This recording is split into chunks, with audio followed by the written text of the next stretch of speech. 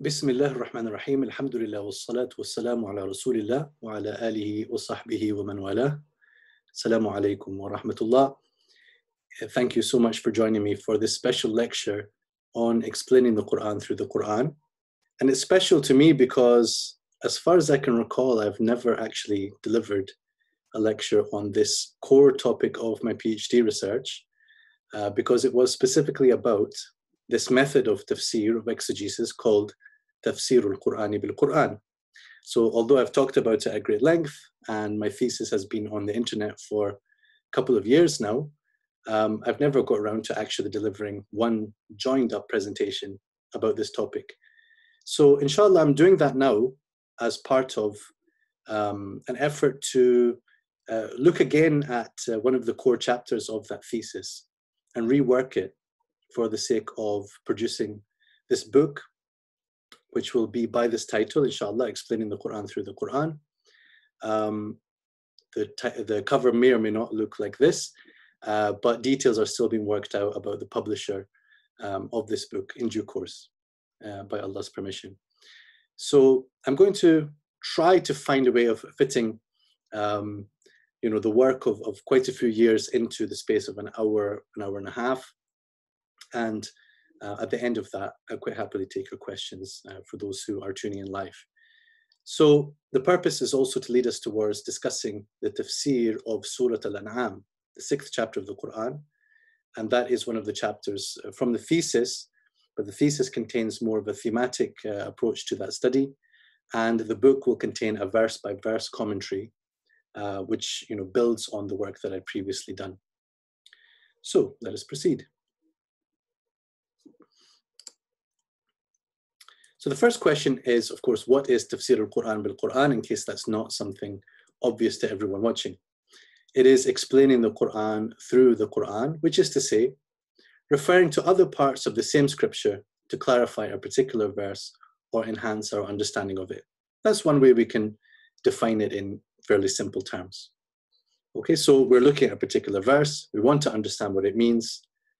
When we refer to other sources, such as a hadith that might help, or we just make recourse to sources of the language, um, then we are not doing tafsir al-Quran bil Quran. The bil Quran bit is where I look at the Quran itself.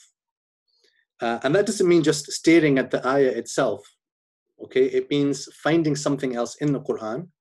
It may be uh, the verses just before or just after. It may be elsewhere in the same surah. It might be anywhere in the entire scripture. So I want to um, draw your attention to this image, which Alhamdulillah I, I designed. Um, it's, a, it's a draft, it's an idea to try to express um, the, the content of the book. And the basic premise of this is to see the Quran as a world. Now, I hope that you can catch the idea here that this is supposed to be um, similar to those flight maps that you see, right? An airline might say, we go from this airport to that airport. These are our routes okay? And as you can see, uh, we are assuming here that the Earth is round, which is why there are um, flights going off to the east and coming back in to the west, okay, just in case anyone's concerned about that. So what I've illustrated here first is the idea of the Quran as a world. I don't want to elaborate too much on that, but I definitely want to get away from illustrating this by saying the Quran is a book, as a closed book with covers, and then you have this linear progression from the beginning to the end of it. But rather the Quran, in terms of what it contains, um, the, the themes and the guidance it contains, you know, has been compared to the world or to the whole universe. So here I'm just conceptualizing it as if it's, it's the landmass of the earth, right? As a way of drawing that. And then we've got an image which is from the famous blue Quran, if you're familiar with it. And you can almost imagine that um, the countries individually are like surahs of the Quran, and then the continents are like groups of surahs, something along these lines, right?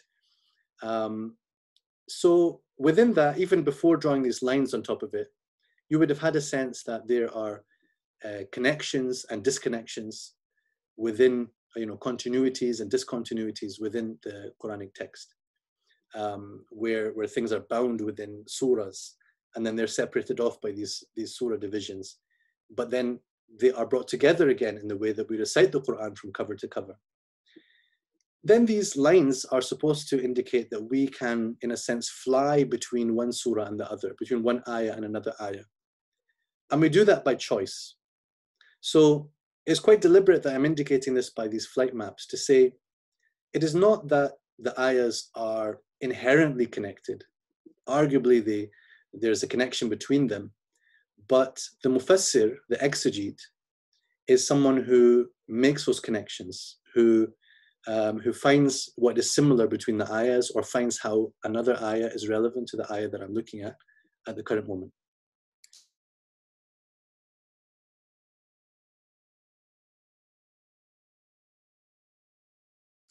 So from there, we get the idea of the levels of EQQ.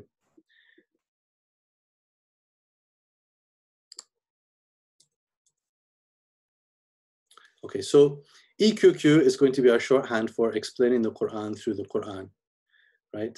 And if we're saying it in Arabic, it is TQQ, tafsir of the Quran through the Quran. So if you've read my thesis or parts of it, then you'll be familiar with that uh, shorthand. But now we are graduating to EQQ, in full English, as you can see. Levels of EQQ, there could be a word in the ayah that I want to understand. So I can look through the Quran and find other usages of that word or of the same root in order to explain. Um, I can find on the level of the verse that I'm looking at, another verse or other verses throughout the, the whole Quran, which are very similar to it or even exactly the same as the, the phrase or the ayah that I'm looking at. So this is what we're terming parallels. Near parallels is where it's very similar, but there's something different about it. And what I should point out here is that the similarity can be important. The difference can also be important. It can also be a cause uh, for me to make observations and therefore to be able to do tafsir, you observe the similarities and the differences at the same time also on the level of verses, there may be things about uh, the ayah I'm looking at that other verses would modify my understanding. I'm looking at something and the, the plain sense of it tells me one meaning, but I know that I have to adjust that uh, understanding when I look at the other verses. I see, ah, actually, no, I have to understand this a bit more carefully. That's what I'm just calling very broadly a modifier or evidence if there's something about this ayah I want to claim, I think that it means this. And the way I'm going to show that is by going to this other verse, which may not be a parallel or near parallel, but there's just something about it which uh, is relevant enough for me to say, ah, that other ayah functions as evidence for what I'm saying about this ayah. Okay, so that's another level of EQQ. And then there is passage context. So within the surah or within the few verses that precede or follow the ayah under study. This is contextual reading, which is another form of tafsir al-Quran, bil Quran, because I'm using the Quran to explain the Quran. And that context is always important, whether you're calling what you do EQQ or not.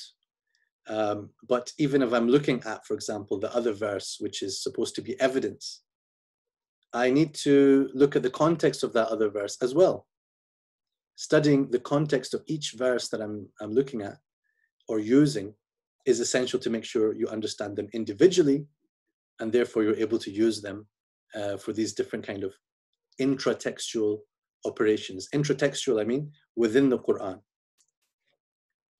So there are many good reasons to do tafsir al-Quran bil-Quran. So some of these I'm taking from scholars who have said these before, but to a large extent I've adjusted this based on my own study and, and critique of some of the things that have been said in this department.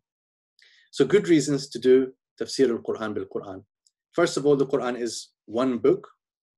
If it is from one author, if we can use that word, we hopefully understand exactly what we're saying here.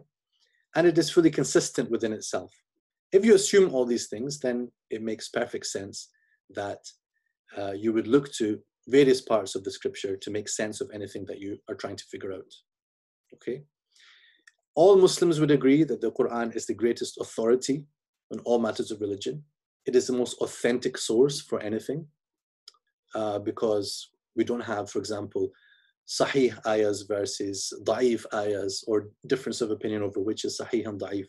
The Quran is accepted in a way that other sources, which are also important, like hadith, uh, cannot really compete with, right? It's 100% qat'iyu thubut, right? In the technical term, it is definitive in uh, its transmission. So if it's the greatest authority for all knowledge in Islam, then that should apply also to tafsir. That is to say, it is the greatest authority for tafsir of the Quran. Now, thirdly, this is um, a very general point that can apply to other types of uh, text as well. It makes sense to consider immediate context and wider textual context, right? A holistic reading of the Quran. Hopefully, that's a point that is quite intuitive and doesn't need much elaboration. Fourthly, and you know, we wouldn't have the time to dive into this uh, too much, but the Quran itself seems to invite this approach.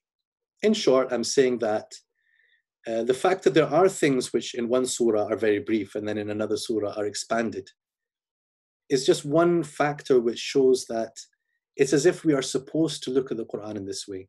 And then there are also some ayat which seem to say things that lead us to that, such as uh, verse 7 of Ali Imran, which talks about um, that there are muhkamat and mutashabihat. There are some verses which are foundational uh, and so clear in their meaning, unambiguous. And there are others, others which are mutashabihat. And then scholars have understood that this means you are supposed to um, use the muhkamat to understand the mutashabihat. When you find something that is ambiguous, unclear, open to interpretation, or even open to dispute, the best thing you can do is find the muhkamat of the book, the foundational, clear, incontrovertible verses, and interpret those trickier ones in the light of them. Okay, so that's something, and that's an example of where the Quran invites this approach. And finally, here that the Prophet ﷺ and the early Muslims acted upon it. So we have some hadiths in which the Prophet ﷺ has explained the Quran using other verses, and we have a few of those which are authentic hadiths.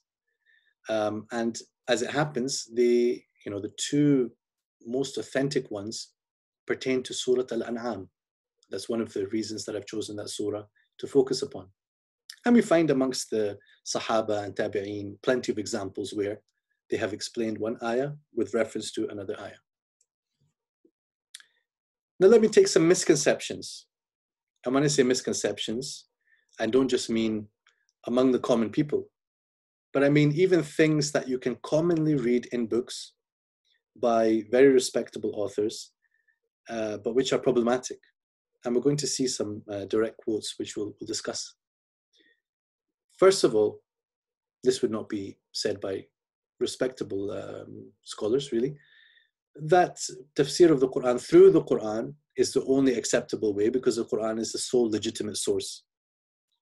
Uh, mainstream Islam recognizes other sources, above all the Sunnah.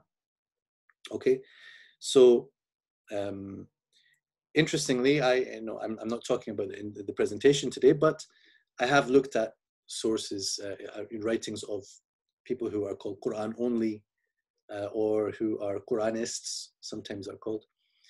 And you might think that because they don't recognize other sources, that they do EQQ very well and thoroughly. But from the readings that I have done, I did not find that they actually do a very interesting job or a very good job of explaining the Quran through the Quran. Reason being, of course, they're lacking um, certain wider context that would make you better able to do it. But more fundamentally, because people of that ilk tend to hold the position that tafsir itself is um, not a valid thing to do because it is a very central doctrine for them that the Quran is clear in and of itself. That's why according to them, we don't, don't need the sunnah to be preserved. And we don't need to go about collecting hadiths and authenticating them. So the Quran is clear in itself. So then why do you need some guy or some gal to be writing about it? Yeah, it's a slightly paradoxical situation that they are in, to put it mildly. Secondly, it is very, very commonly called the best approach. And in some very respectable sources, it is said that it is done first. That the first thing you do is explain the Quran through the Quran. The first thing when explaining an ayah is to look elsewhere in the Quran. If you do not find the answer, then you go to the Sunnah. And this may be familiar to you. We're going to see the quote of Imam Ibn Taymiyyah, rahmatullah alayh, and discuss it a little bit. That is something that I return to a lot in my uh, PhD thesis. But to be the best approach, is it so simple as to say that, you know, are there some things that would make it particularly well done and authoritative? Can it go wrong? Can there be EQQ which is actually mistaken? I think it's not hard to understand that yes, you can do it wrong, in which case it's not best in that particular moment. So maybe in a broad sense, it is it is the best, or conceptually it's the best, but in practice, it's more complicated. Thirdly, it is often said that the reason why it's the best is because it is God explaining his own scripture, God explaining his own words. But is it God's own explanation? Remember, I showed you these flight maps. It's very important for us to understand that the mufassir is the one who's doing tafsir. It is not, you know, in general, we're not talking here about God explaining the Quran. There are some things that you could point to and say, oh, well, this uh, could validly be called um, divine tafsir, that this is God explaining uh, the Quran. Right? But that's very much a subset of what EQQ encompasses, right? It is not everything that is EQQ is God explaining his own book. And then we also have the statement that it is the method of the Prophet. As I just said earlier, yes, the Prophet did do this.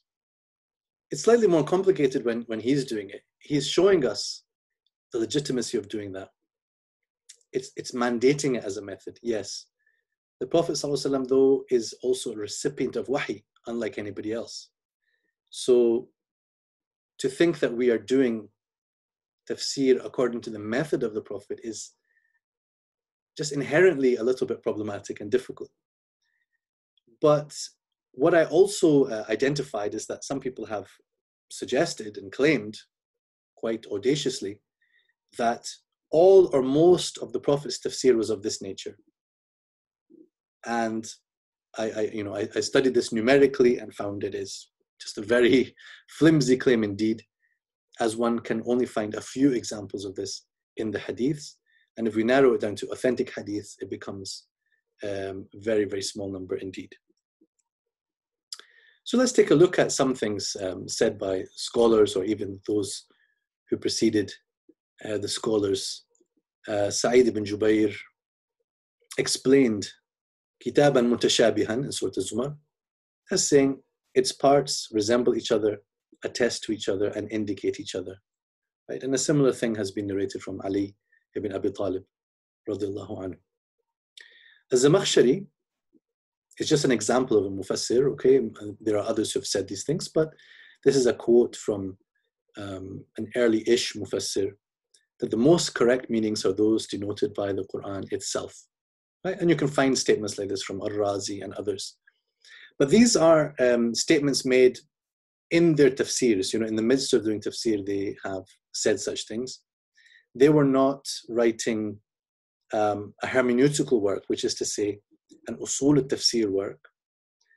Um, and I looked extensively at early works in usul tafsir, including, you know, the introductions to tafsir works. And I struggled to find really any clear reference to the idea of doing tafsir of the Quran through the Quran. Yes, it was being done, as I've said. On a practical level, it was there. On a theoretical level, it is hard to find anything um, convincing until we can come to the famous treatise of Ibn Taymiyyah. And this is called Muqaddimah fi Usul al-Tafsir. That's the title that is given to the work. It's, you know, uh, in the 20th century, but it wasn't. It didn't have a title before. And this was a, a treatise which he wrote um, in response to somebody asking him to elaborate on the methods of tafsir.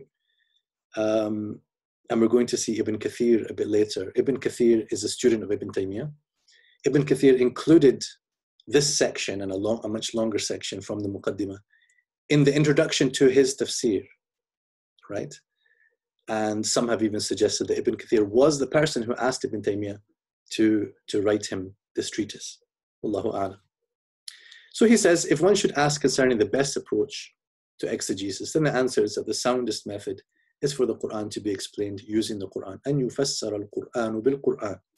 And so there, the expression is used almost directly. What is left unclear in one place has been explained in another.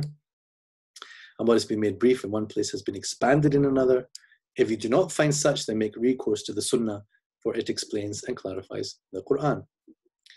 So you see now um, why I'm, I'm, I'm, saying that uh, people have been very influenced by Ibn Taymiyyah in the way they talk about this. And you can find this being said in many, many books which have the title Usul al-Tafsir or similar things. Um, to the extent that in, in works of the 20th century, you will find them saying that this is a matter of ijma', this is scholarly consensus, or they will even say ijma'u salafi wal khalaf. Right? So it is interesting to me to see how this statement got raised to that level. As a statement, it contains some tricky aspects, and scholars have come and tried to explain those things. Like, does he seriously mean that one should look for the answer in the Quran first, as it looks like, you know, first? The word first is not here. Imam Suyuti adds the word first um, when he um, quotes this in Al-Itqan fi Ulum al-Quran. Um, but it does look like he's saying you look there first. And if you find the answer, you would stop, you would call off the search. Is there also an authentic hadith on the issue? Doesn't matter. There would be no need to look at that because you found the answer in the Quran. That is what it looks like he's saying. But nobody really wants to accept that that is what he's saying. And if you look at the rest of the way he talks about tafsir and the way he does tafsir as well in his uh, various writings on various passages of the Quran, then you would have to conclude that, of course, he does not uh, take it as plainly and literally as that. But that's what he's saying here. So a lot has to be teased apart in this uh, quote. Thereafter, we have got um, Dr. Zahabi, an Azhari scholar of the 20th century. Um, uh, similar quotes can come from earlier than him, uh, Az-Zurqani, Manahil al-Irfan, fi ulum al-Quran. But what I liked about the Zahabi quote is that you've got two competing quotes within the same book. In one place, he says that Tafsir al-Quran bil-Quran is universally accepted because such cannot be affected by weakness or doubt. But he also says, um, even earlier in his book, in fact, at Tafsir al-Mufassirun, he says, it is not an automated process devoid of the need for thought. Rather, it is an action built upon a large measure of reflection and reasoning.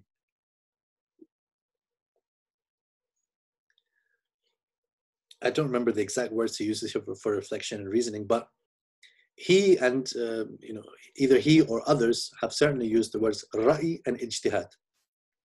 Ra'i wal ijtihad. And uh, the word ra'i is important here because one of the things that happens a lot is that tafsir al-Quran bil-Quran is classified as tafsir bil-ma'thur. Okay, I don't want to dwell too much on this, but it is very problematic to categorize it as ma'thur. Because yes, the Quran is ma'thur in the sense the Quran is transmitted, but the work of joining between the ayahs is not ma'thur. That is based on the ra'i. So that's to put aside even my overall concerns and critiques of the whole idea of the dichotomy between tafsir bil ma'thur and tafsir bil ra'i. Okay, Ash-Shinqiti. Ash-Shinqiti is a, a very important um, mufassir in this vein. In fact, he's written a book, and we'll talk about it a bit later. He said, None better knows the meaning of the book of God than God. Right? So that's an example of what I have drawn your attention to already. But he also says, if a verse has an explanation from the Quran which is not fully satisfactory, then I supplement the explanation with the Sunnah, i.e., to clarify the Quranic explanation. Okay? So, is this a contradiction? Well, I'm simply saying that this latter quote shows that when you actually get to the business of explaining the Quran through the Quran, it's not always going to be so clear. It is not God who is doing it. It's not God who's doing that tafsir. It's the mufassir who's doing it. Tabataba'i, I'm also going to talk about later, but he has, you know, and he is, uh, or he was a Shi'i author, 12er Shia. Um, he has described EQQ as the oldest inherited approach. And I think he was trying to subvert this word ma'thur and turn it around and say, well, this was the way of the Prophet وسلم, and of the Imams of Ahlul Bayt and all the important in, you know, interpreters. So that is to say, in the way that I've already critiqued, that it's as if that is the way that they did it and nothing else. So we're going to be looking at uh, the case study, which formed chapter two of my thesis. And I'm just giving you an introduction to that today. And inshallah, in due course, a lot of things, a lot of practical aspects and, and real life examples will, will come your way and I hope be really, really interesting and inspirational as well.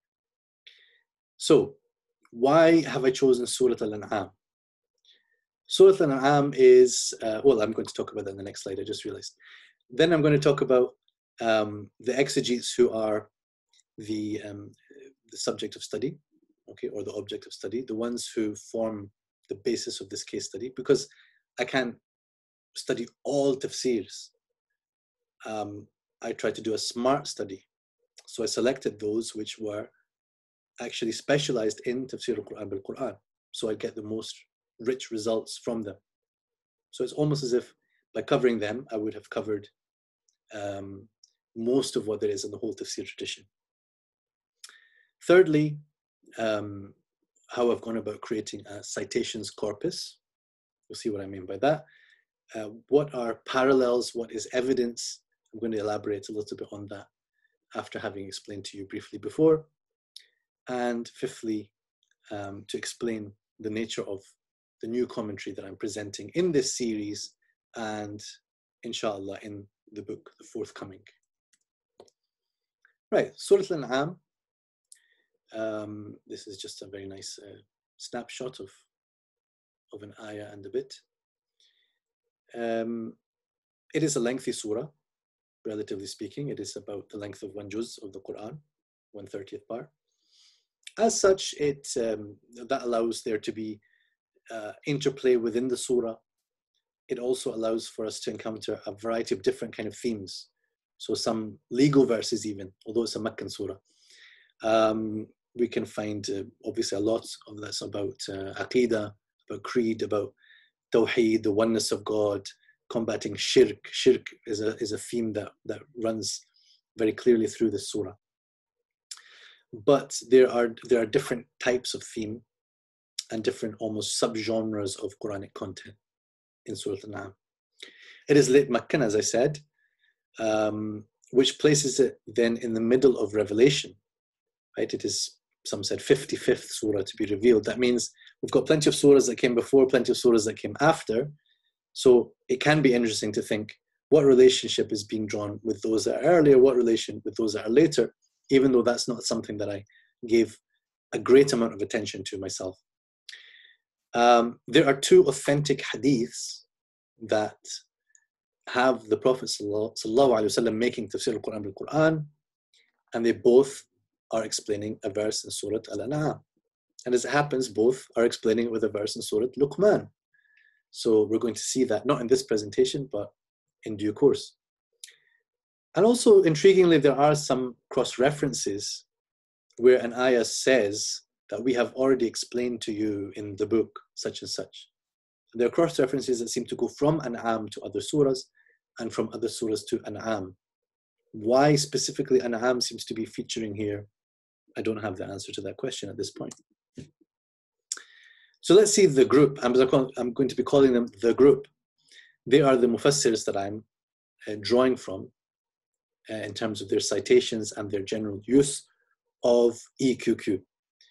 The first in the group, and that's not to say the earliest tafsir that I'm using, but the first in the group is Ibn Kathir.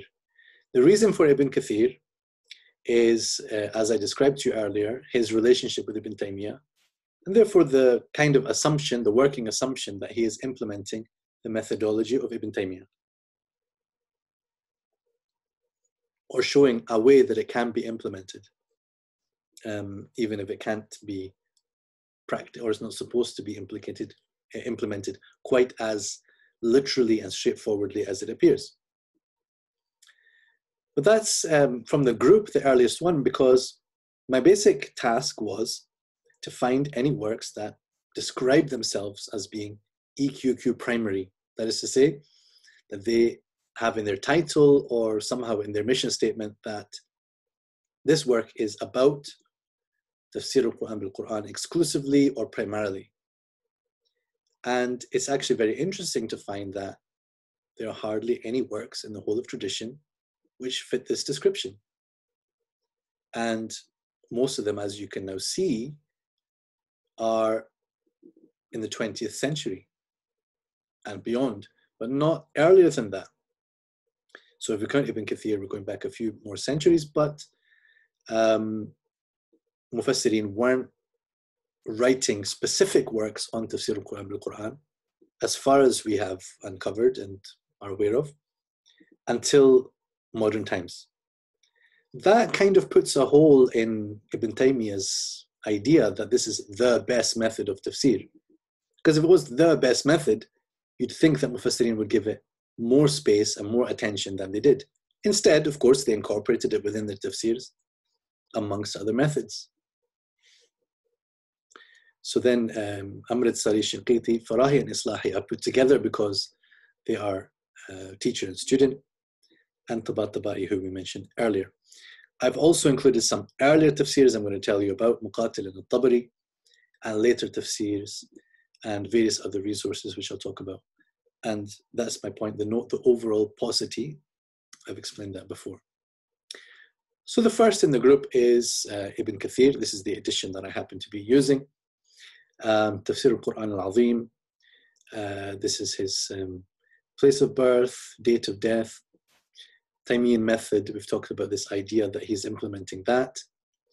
Oftentimes, uh, in his explanation under a particular ayah, he will start with some parallels. So I'm calling them parallels. He will just uh, say something like, كما قال تعالى, as Almighty God has said, and then he'll mention some other ayahs which are similar in some way. The tafsir overall is rich in hadiths and various discussions. Um, and in the course of the tafsir, he will cite other ayat by way of evidence for various things. Secondly, Thana'ullah Amritsari. This is not a particularly famous tafsir. Um, uh, is actually um, a very significant figure in Indian history. He was a leader of the Ahli Hadith movement um, and was involved in, in, in, dramatic events in his life and debates with, uh, with other uh, groups, including the Ahl Quran movement. Um, he died in 1948, so just after partition in uh, Pakistan. This work is um, of an inline style, which is to say, he would mention a few words and then mention a few words very briefly by way of explanation. And in his, in his introduction, he includes um, some notes from Shah Waliullah concerning Asbab al-Nuzul. And I've reproduced that in my thesis. Uh, I mean, I've summarized it in English in my thesis. Um, something interesting about this work is it was revised. This is a revised edition that you're seeing here, um, Saudi approved, right? This is printed in Riyadh. Um, his original version had uh, some influence from his um, his Deobandi roots, so some kind of Maturidi creed and uh, things which met criticism at the time, and he was sort of dragged before a committee made to repent and so you can find some very lengthy footnotes of repentance in this uh, edition, which is quite interesting. Now, perhaps the most famous in the genre, and people always ask me, you're doing Tafsir al-Quran bil-Quran? Is it about Shinqiti? Shinqiti, right? It's about Shinqiti. Tell me, yeah? Yeah? So yes, he's in there. But I have to say, Shinqiti's work did not prove to be hugely significant once I have examined it alongside others. His work is called Adwa al-Bayan fi Idah al-Quran bil-Quran. He's a Mauritanian scholar who then settled in Riyadh as well. died in 1972, of course, of Salafi orientation, uh, broadly speaking. His work is actually not um, a tafsir of every ayah of the Quran. I think a lot of people don't realize this. Of 165 verses of Al-An'am, he only discusses 49. Um, he often draws these um, ayah references from Ibn Kathir, uh, which is not to say it's all lifted from Ibn Kathir, just that you can see, I think it's quite reasonable to claim that he was drawing from Ibn Kathir uh, in, on top of his own observations. And if you're looking at this work from Surah Al-Hashr onwards, you should know that it is not by Shinqiti, but by his student, uh, Atiyah Salim. Then we come to another 20th century phenomenon, which is the Nazm school or the Nizam school of Hamiduddin Farahi. So the followers of the school have tended to call it in English the coherent school. Uh, this is a, um, an approach to seeing the Quran as a cohesive unit and paying attention to the flow and the structural uh, features of the surah, even seeing the surah as a, as a unit with subunits within it, uh, as having an architecture which affects how it should be interpreted and understood. And the surahs within a structure of the whole Quran. So Surah Al-An'am, for example, according to this school, is part of a group of surahs, uh, which is uh, surah 6, 7, 8, and 9 together.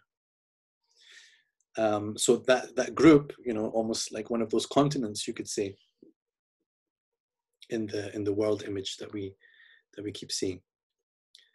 Um, this is a fairly um, new idea, but there are forerunners to to aspects of this, and importantly, people talk about uh, Al-Biqai and his uh, Nazm al-Durar, uh, which has which bears some resemblance to what they have done. Uh, Biqai's work doesn't have many citations and cross references, though.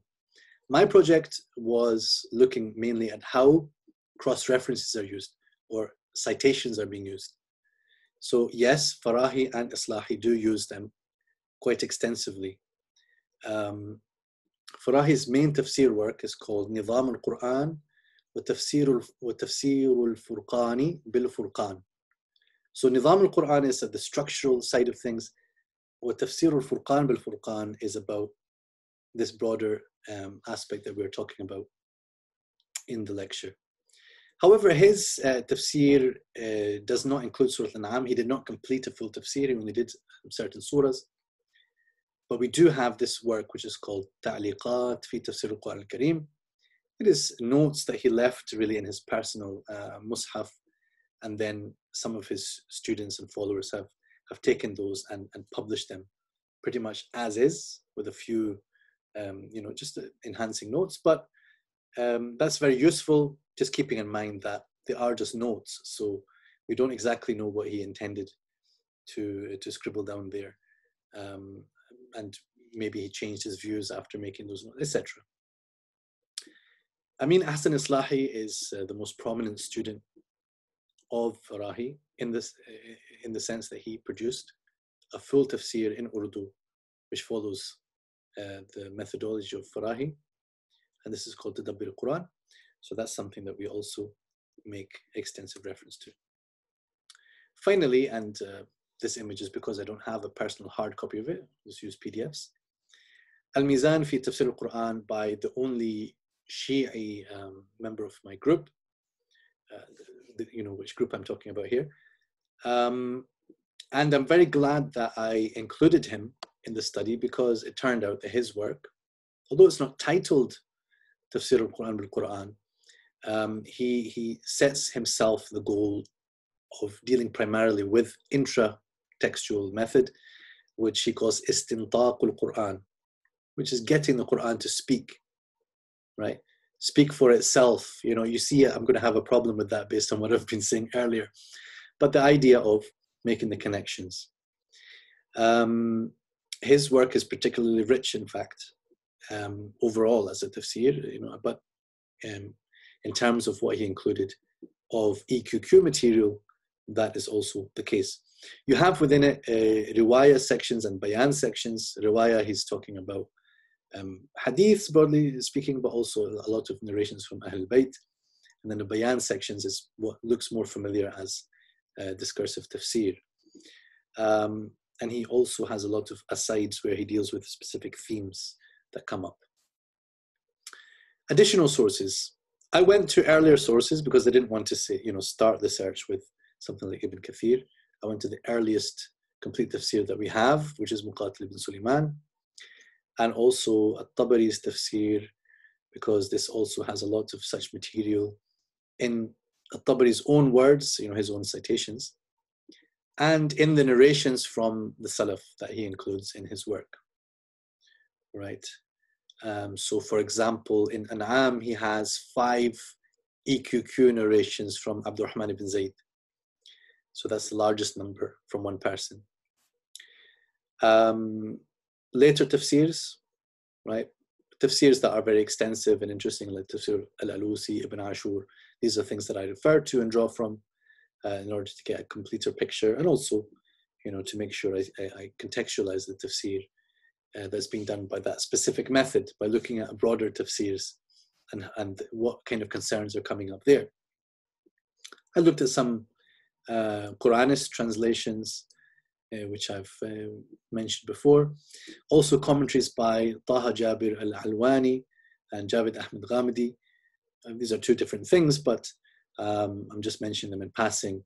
Taha Alwani has this book, which is actually called Tafsir Surah Al-An'am, and it's within a series called Tafsir al-Quran bil-Quran.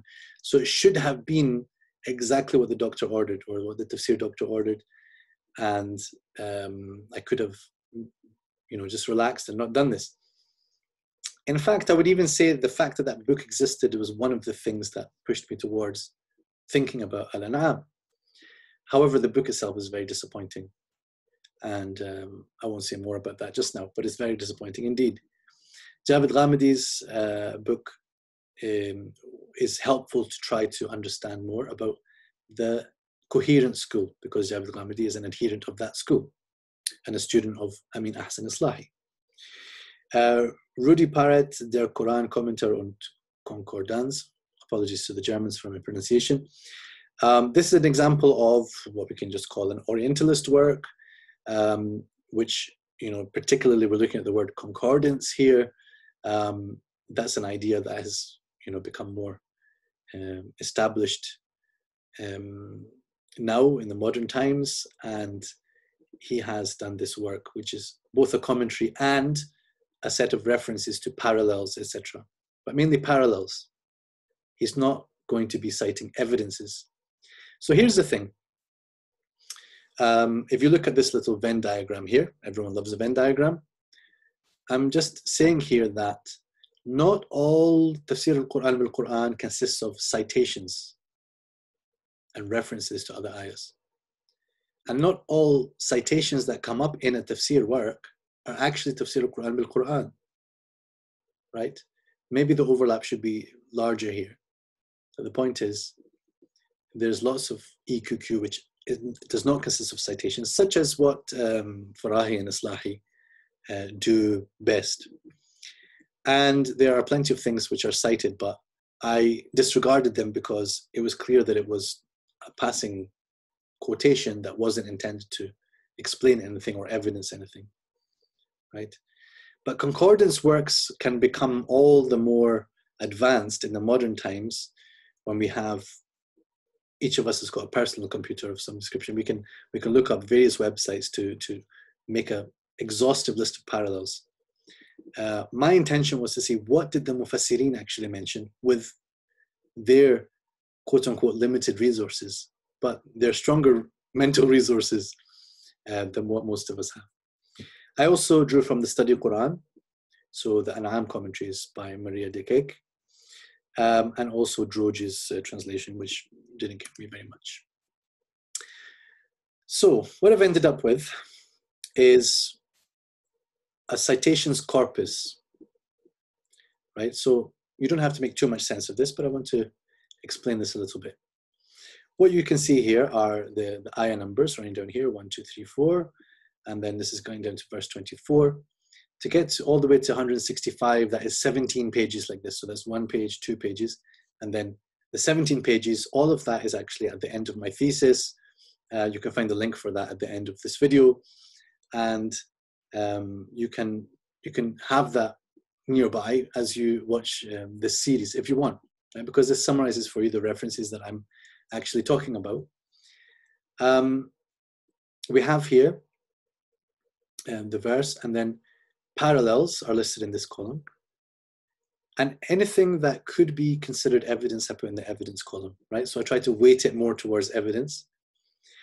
And the result of that is that you can kind of see that it's a kind of 50 50 split. Citations that are coming in the works of tafsir are not, uh, you know, not the vast majority of them are parallels, as you might accept, uh, expect, but a good number of them are used evidentially.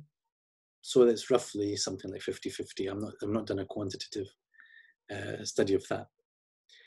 Um, here, when it's a, a, phrase, is because is it paralleling a specific phrase or is it uh, evidence pertaining to a specific phrase?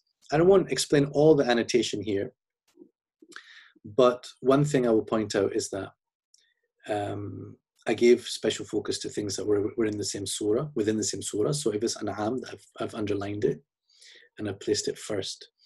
Okay, the other thing is that if you see it in bold, that is because more than one mufassir cited it. So when you take a sort of bird's eye view of this, you would see that not that many bold numbers are appearing here.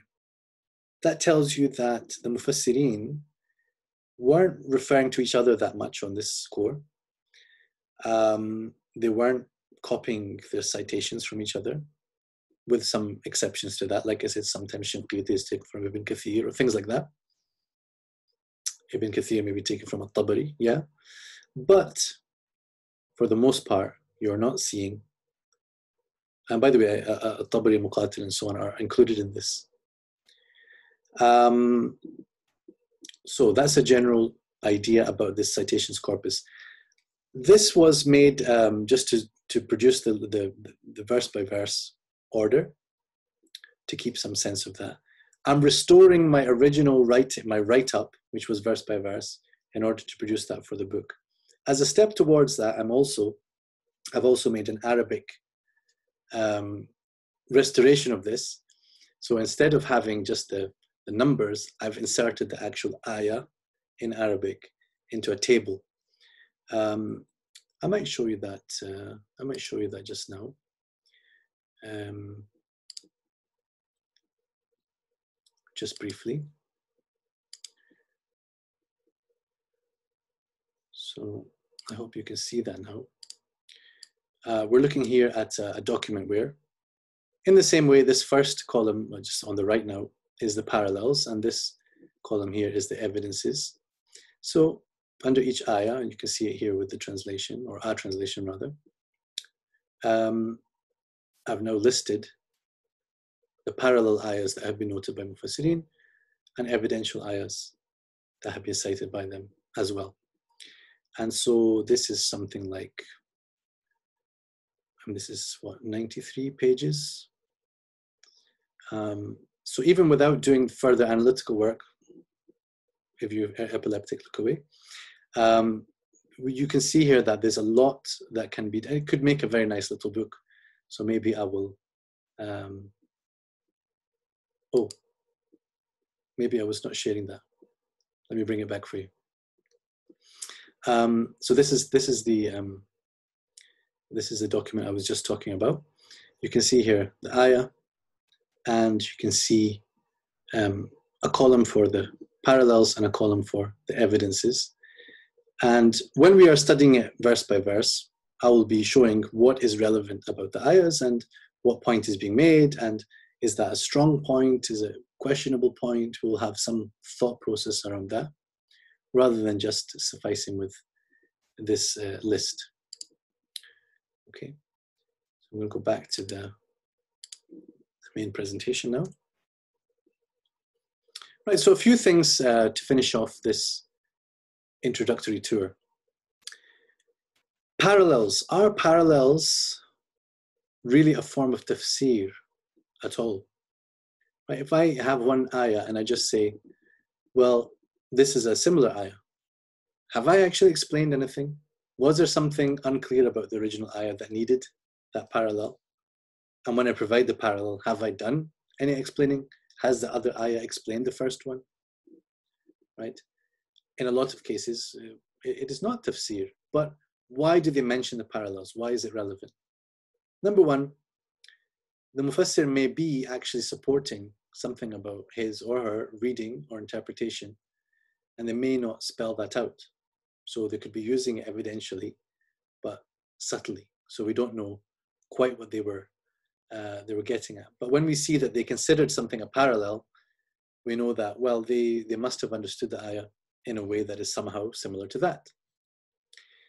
Secondly, it could be that the parallel itself does clarify because its wording is more explicit or its wording is more spelled out and expansive, or by looking at the context of that other ayah, we can understand something about the meaning of this ayah.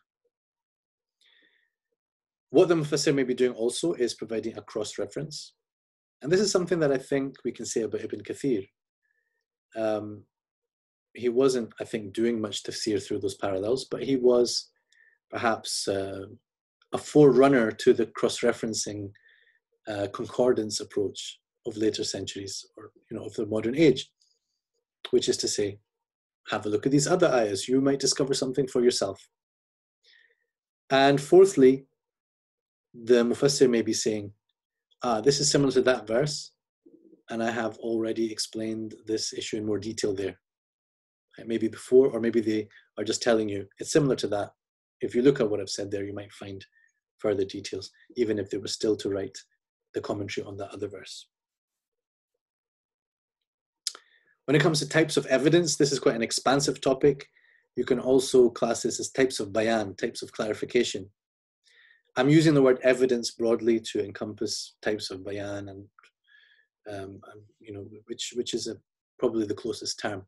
The word bayan and evidence don't correspond, but right. Firstly, um, that evidence may be used to clarify something, the meaning of a word or a piece of grammar. It could be to elaborate. Um, I'm citing the other verse to elaborate on something which is, you know, left vague or very, you know, over brief in this particular ayah. By itself would not be understood, but with the other ayah, it becomes understood. It could be to modify the apparent sense. So, what I was going to understand from this ayah, I realized that actually, no, this is not a universal statement. There are exceptions to it. So this could be what they call in usul al-fiqh takhsis or taqyid or similar to that. So there could be exceptions uh, expressed in another verse. This verse may be an abrogated verse, mansukh. So I need to know the nasikh, I need to know the other verse in order to know that that is the one that expresses the current operable ruling, not the one I'm currently reading, which is abrogated. So abrogation can be seen as falling within the rubric of tafsir al-Quran al-Quran. You may cite another ayah to build up the picture, right? So it's not that it necessarily um, explains this ayah, but it's something that has to be put alongside Right? So this ayah by itself, let's say it's an ayah about free will. Well, if I just took it by itself and ignored everything else, I might get the wrong idea.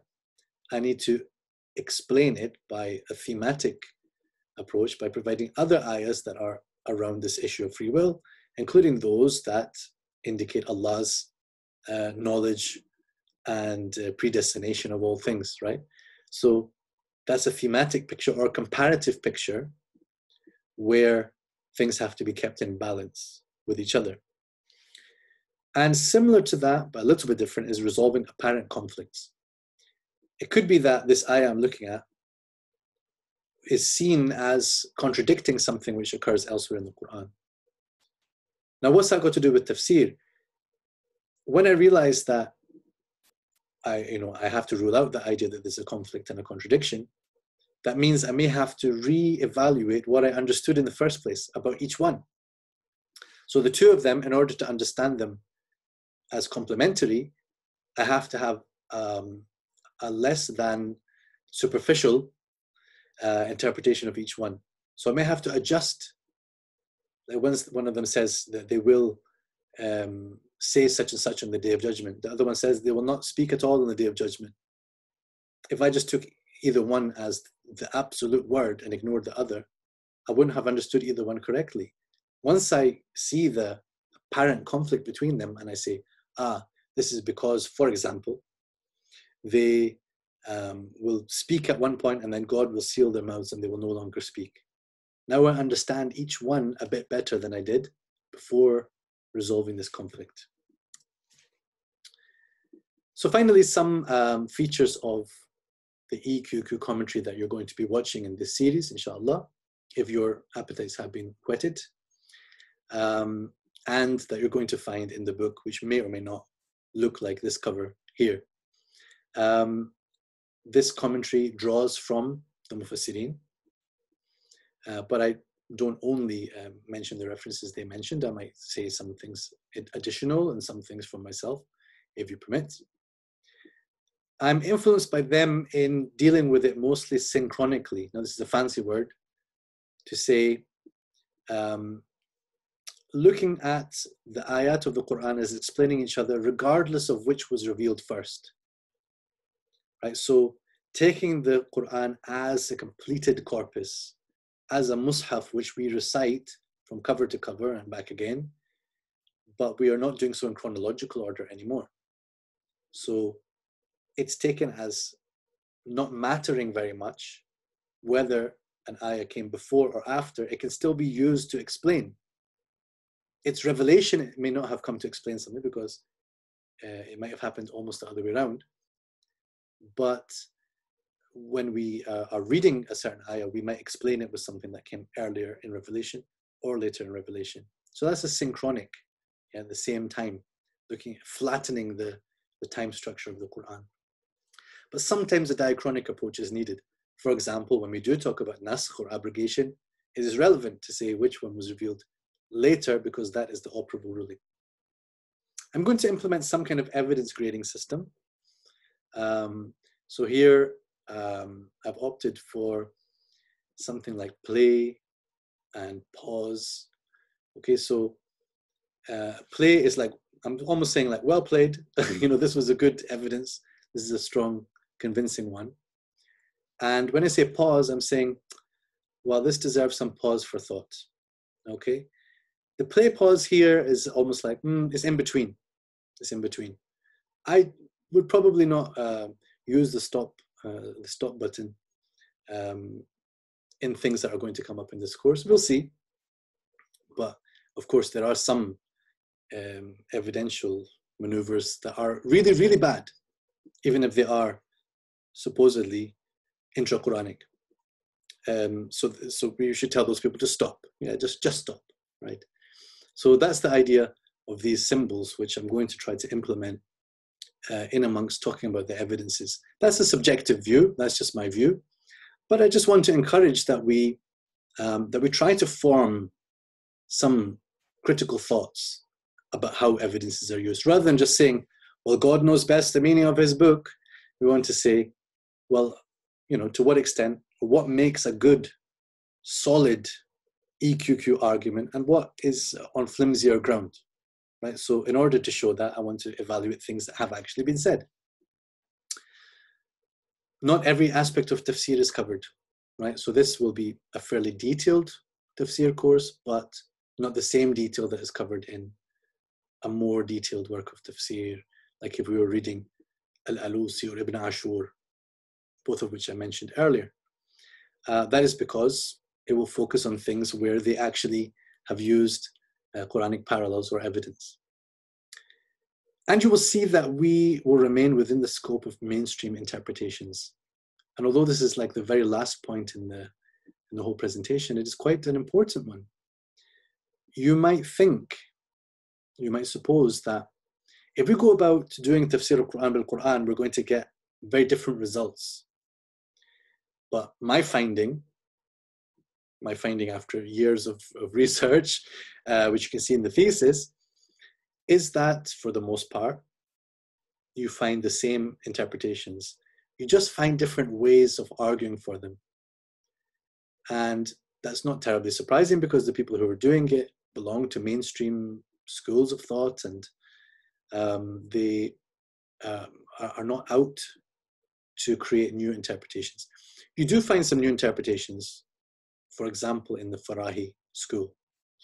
Um, but for the most part, you find the same opinions that you find in other tafsirs, but um, with some new subtle evidences for them from within the Quran itself.